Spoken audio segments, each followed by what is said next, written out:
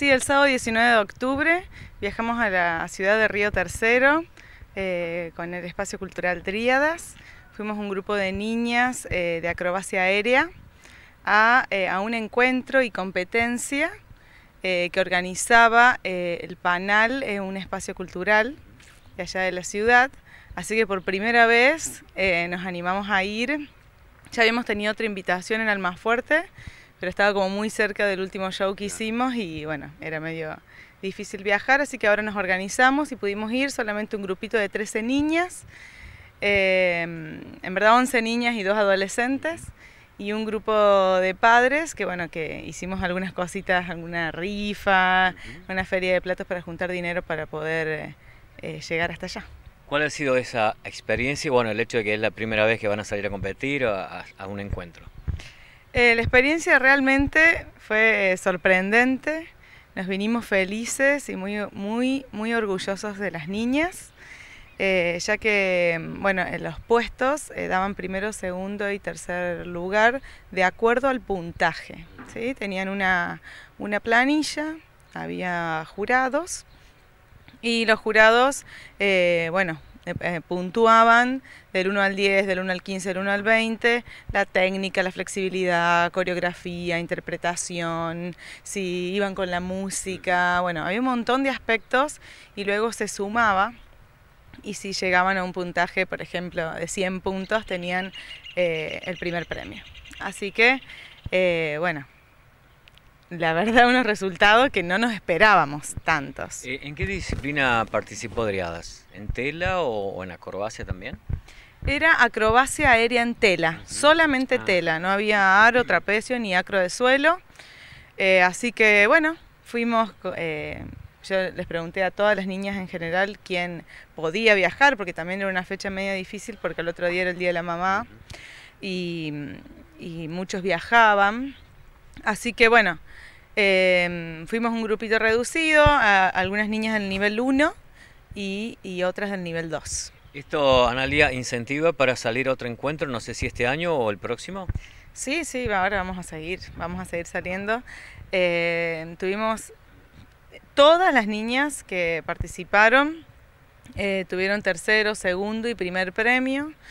Eh, así que están, Estoy muy feliz, realmente hasta en un momento estábamos muy emocionadas eh, con las mamás, eh, porque también tuvimos una medalla de, destacado en, la categoría infantil, porque, bueno, daban, por ejemplo, en categoría infantil presentamos eh, a tres niñas, ¿sí?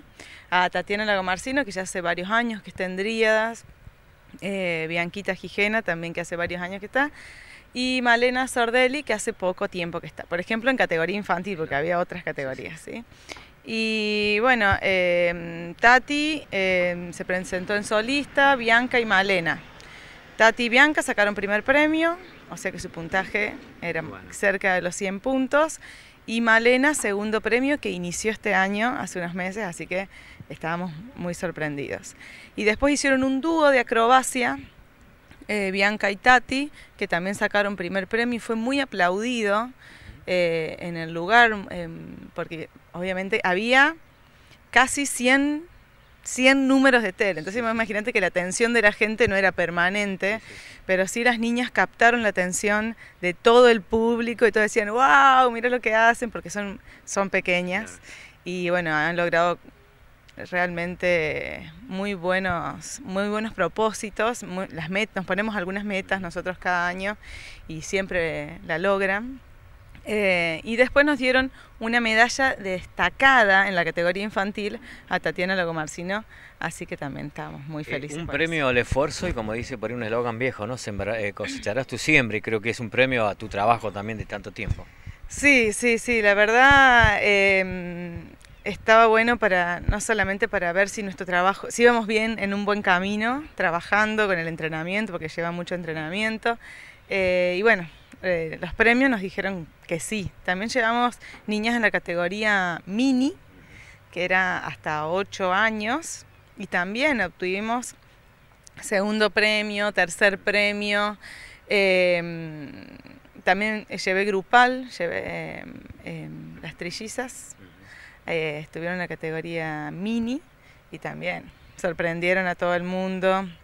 Jazmín Muchut, eh, Anita Díaz, bueno, eh, también estuvieron en, también en categoría encuentro, presentaron las niñas que hacían con nudito, que también fueron, porque también tienen como esa impronta que no es solamente la tela, sino que es, un, es toda una puesta en escena porque evaluaban hasta lo que hacían antes de subir a la tela y cómo lo hacían, el vestuario que tenían, eh, si tenían, si llegaban al público, si tenían gracia. Y bueno, en verdad a las niñas las tratamos de formar en todo lo que es la puesta en escena hasta que hasta que se ubiquen debajo de las luces.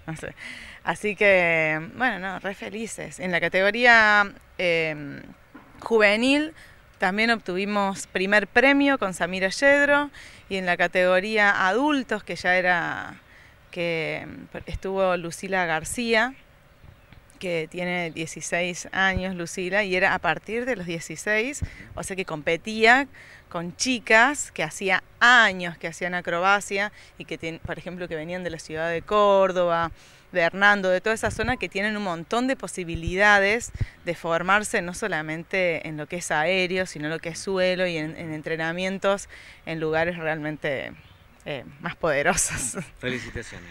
Así que bueno, estamos muy felices y bueno, queríamos compartirlo y agradecer a todos los que colaboraron con Dríadas. Y bueno, y comentarles que ahora el 5 de noviembre vamos a estar eh, presentándonos con lo que es acro de suelo eh, en la sala de espectáculo en la muestra de los talleres culturales y estamos armando un cierre de año fantástico, así que no se lo pierdan.